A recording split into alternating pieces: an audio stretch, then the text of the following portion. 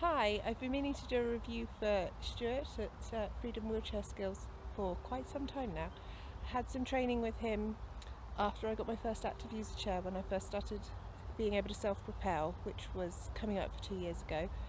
And everything I learnt there has given me so much more confidence to be able to go out and about on my own and to cope with being in a chair and having two young children as well.